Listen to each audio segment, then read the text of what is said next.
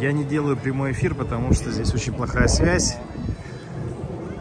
Нахожусь я сейчас в месте, где жил Гюнхейм,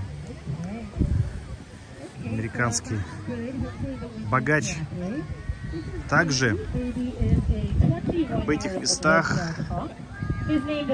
написано в романе Фиджеральда «Великий Гэтсби».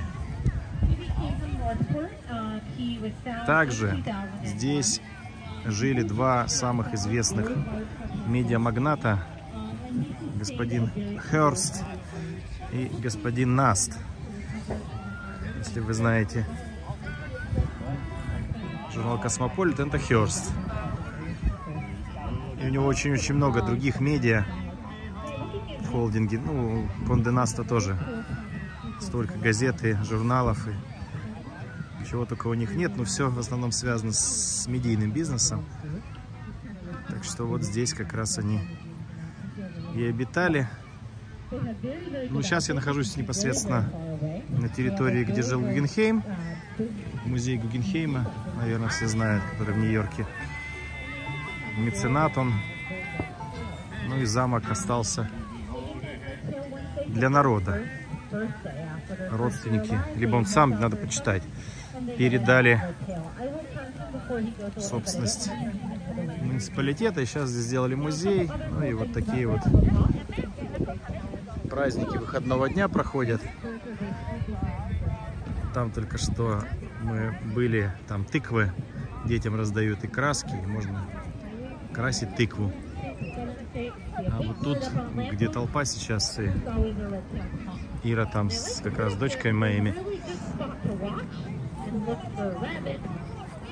там показывают сов и рассказывают о них, чем они питаются, сколько они весят.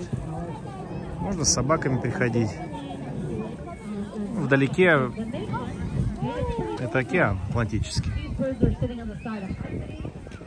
Там есть даже спуск, каменистый берег. Это Лонг-Айленд.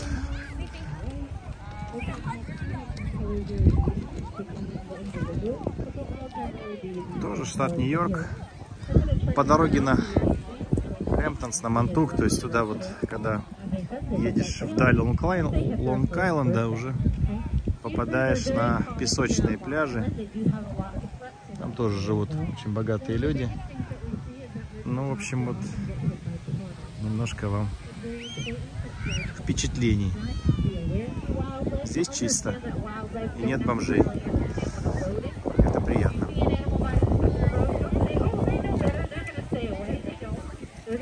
Но вот Нью-Йорк, сам Манхэттен, конечно,